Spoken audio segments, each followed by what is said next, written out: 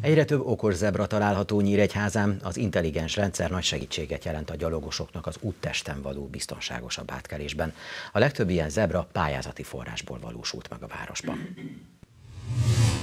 Igazi újdonságként még 2018. decemberében adták át ezt az okos zebrát a Szabolcsi megyeszékhely Korányi Frigyes utcáján, az északi temető hátsó bejáratának közelében a Generalia Biztonságért Alapítvány támogatásával. Azóta több mint egy tucat másikat alakítottak ki a városban, így valószínűleg már nincs is sok olyan, aki ne tudná, hogy működik az intelligens gyalogos védelmi rendszer. A cél a gyalogosok biztonságának javítása, így olyan helyeken jellemzően lakóövezetekben adtak át ilyet, ahol nagy a forgalom és több gyalogos elütés történt már. Sok esetben azért, mert nem lassítottak le kellőképpen az autósok az átkelő előtt a zebrát, illetve az átkelőhelyet úgy kell megközelíteni, 17 és 37 km per órás sebessége. Tehát az, amikor valaki azt mondja, hogy 50 km per órával közlekedtem, mert lakott területemben lenyen megengedett, ez nem elfogadható, különösen akkor, hogyha egy baleset van. Viszont figyelembe kell venni a gépjárművezetőnek azt, hogy az út és látásviszonyok korlátozottságával nagyobb út kell ahhoz, hogy megálljon. És van egy késleltetési idő, amikor a járművezető nem figyel oda, tehát telefonál, a rádiót kapcsolgatja, vagy az utassal beszélget. Az is nagyon elvonhatja a figyelmet, akár egy-két másodperces késleltetés már balesethez vezet. A rendszer előnye, hogy csak akkor villognak az útburkolatba beépített lámpák, ha tényleg gyalogos térzékelnek az oszlopokba szerelt szenzorok. És a témával kapcsolatban pedig vendégünk a stúdióban Pató István, a Nyíregyházi Polgármesteri Hivatal Városfejlesztés és Városüzemeltetési Osztály osztályvezetője. Jó napot kívánok, üdvözlöm Arról lehet tudni, hogy milyen találmány ez az okos zebra, mikor találták egyáltalán fel, honnan jött az ötlet, milyen múltra tekint vissza, mert nagyon azt tapasztalni, hogy most az utóbbi néhány évben terjedt el igazán az országban. Hát, a teljes pontos időpontot ugye nem fogok tudni válaszolni, azt tudom, hogy Magyarországon mikor jelent meg az első. Azt, ha jól tudom, 2016-ban épült az első Debrecenben, de úgy általában azért való igaz, hogy az utóbbi időszakban terjedt el ez igazán, mert Budapesten például múlt évben épült az első okozebra, mi esetünkben pedig már múlt évben a 16. okozebrát építettük többféle eh, megoldás van, tehát mi azért nézegettük a kollégák, hogy milyen megoldásokat lehet találni, tehát külföldön egész érdekes megoldásokat eh, honosítottak meg. Én azt gondolom, hogy itt Magyarországon ez egyik legelterjedtebb rendszer, ami most itt Nyíregyházan is megépült, ugye, amik itt megépültek. Uh-huh. hogyan működik akkor ez az okos zebra? Szerintem ez is eléggé fontos. A zebrák jelentős része, részénél az okosítás az úgy működik, hogy két szenzor között kell elhaladni gyakorlatilag a gyalogosnak, ahhoz, hogy a rendszer induljon. Tehát a, a LED sor, hát főleg szürkületben fontos, hogy lát, láttassa a gyalogosokat. Tehát a hetek között elhaladnak a gyalogosok, ilyenkor mindig ügyelnek a, a szerelők, hogy lehetőség szerint úgy építsék ki, hogy ne lehessen kikerülni. Nyilván javasoljuk is a gyalogosoknak, hogy erre figyeljenek oda, hogy a két szenzor között haladjanak el. Egyetlen egy zebra van, ez a Vasvári Pál utcán, ahol nem szenzorok között haladnak el a gyalogosok, hanem ott egy kamera van, és a kamera érzékeli a, a gyalogost. Azt hiszem Budapesten ilyen épült múlt évben. Uh-huh. Ö, ö, mi alapján döntöttek arról annó, hogy elhelyezik, vagy hogy hol helyezik el ezeket a bizonyos okorzebrákat? Ha jól tudom, akkor a 2018-as, az ugye a, a Korányi Főgyes úti temető bejáratánál került elhelyezésre az első. Így van, az gyakorlatilag egy támogatás keretében, a generáli biztonsági alap támogatása keretében tudta megépíteni a város.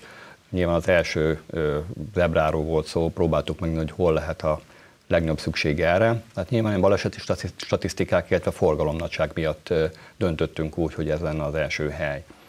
Még egy hasonló zebra épült ugyanezzel az alapítványi támogatással az országzászló téren, Egyetlen egy zebra volt, ami a Magyar Állami Közút területén, a Bocskai utcán, a, hát mondjuk így, hogy nagy esztéket, talán így ismerik leginkább a lakosok előtt építették ki, ott nem mi voltunk a beruházók, és a többi zebra, 13 zebra pedig már területoperatív programból épült meg, tehát ott, ahol a város amúgy is egy projekt keretében fejlesztést készített elő, valósított meg, ott ezeket a már meglévő zebrákat így alakították ki, vagy alakítottuk át, vagy pedig az új zebráknál leve, már hogy mondjam, megokostottuk az zebrákat. Mhm, tehát akkor azt elmondhatjuk, hogy volt egy, egy különleges pályázat, ugye, amelynek révén eléggé nagy mennyiségben újították fel Nyíregyháza útjait, és ugye ennek keretében beemelték akkor ezt a lehetőséget is, hogy okos zebrákat hoznak létre.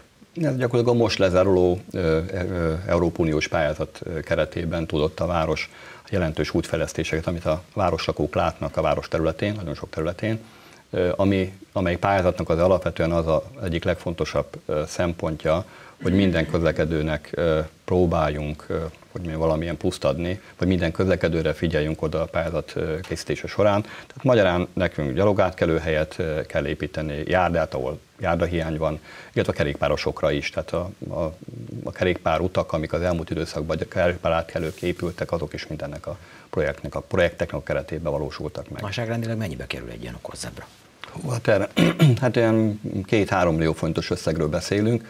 Nyilván itt azért nagyon fontos, hogy olyan eszközök kerüljenek elhelyezésre, ami, ami hát azért hosszú távon bírják a gyűrődés, hogy úgy mondjam. Tehát nagyon sok esetben az üzemeltetők attól szoktak tartani ezeknek a telepítésénél, hogy lehelyezésre kerül, és később meghibásodik. Tehát nyilván ennek volt egy olyan időszaka valamikor régen, nekem azt mondták a kollégák, akik a elhelyezést végezték, hogy valaki azért fázott ettől a történettől, mert bizony a rossz minőségű anyagot helyeznek, építenek be, akkor utána nehéz ezeket szétszedni, meg újra telepíteni.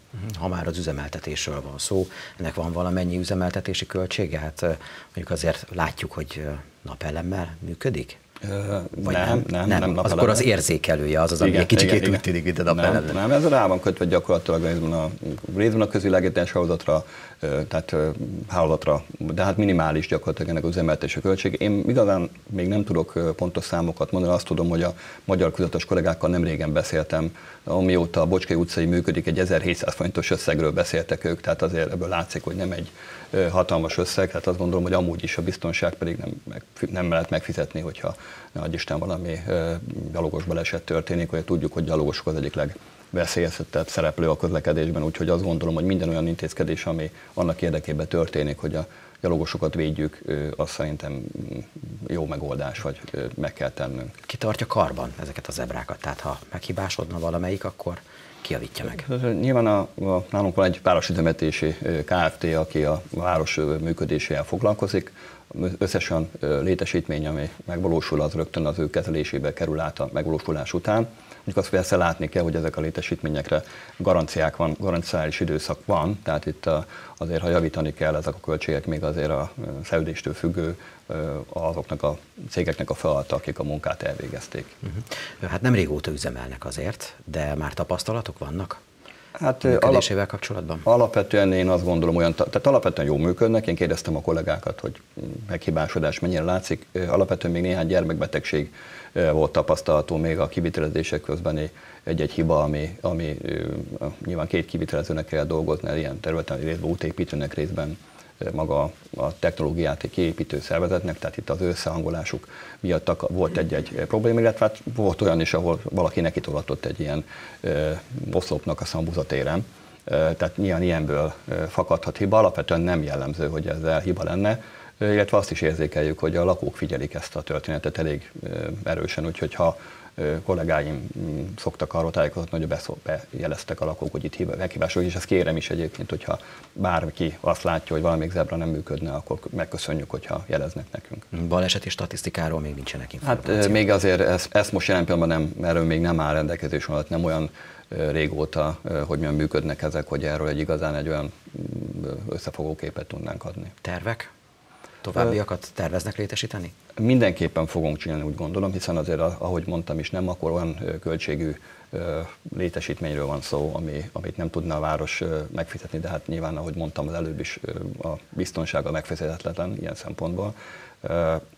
Azt látni kell, hogy az eddigi létesítmények azok gyakorlatilag a városnak nem kerültek pénzébe, hiszen próbáljuk azért mi is úgy elfárkodni a forrásokkal, hogy mennyire lehet, mint támogatásból, minél több minden támogatásból valósítsunk meg, hiszen amúgy is van saját forrás más fejlesztésekre igény, saját igény, úgyhogy de mindenképpen úgy gondolom, hogy a közeljövőben újra össze fogunk ülni majd a közlekedési szakemberekkel, és hát folyamatosan nézzük, hogy mi következik, tehát melyik azok a területek, amelyek leginkább igénylik.